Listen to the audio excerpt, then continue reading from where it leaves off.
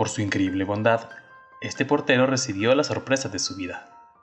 Con 60 años de edad, Robert Reed trabaja como portero en una escuela primaria de Farmington, en Tennessee, Estados Unidos. Dedicado siempre a su trabajo, es un hombre humilde y sencillo.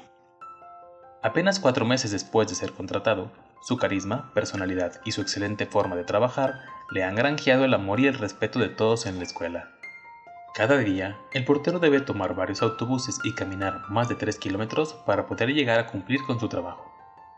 Es por ello, y en agradecimiento de su increíble labor, que padres de familia y maestros se han unido para hacer una gran colecta y regalar a Robert un automóvil.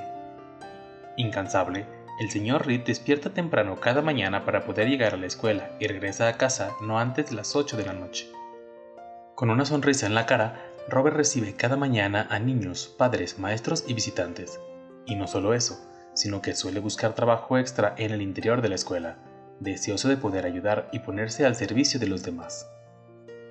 Pensando en su extrema bondad y en sus increíbles ganas de ayudar, padres y cuerpo docente se decidieron a hacerle este tan inesperado pero merecido regalo.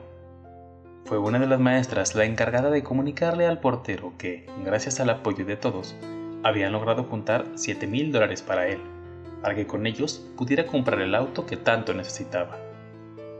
Al escuchar la noticia, Robert no pudo contener la emoción y cayó de rodillas abrazando a la maestra.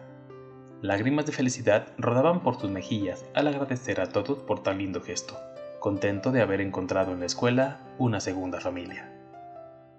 Si te ha gustado este video, recuerda dar pulgares arriba, suscribirte a nuestro canal y activar la campanita para no perderte ninguna de nuestras increíbles historias de vida.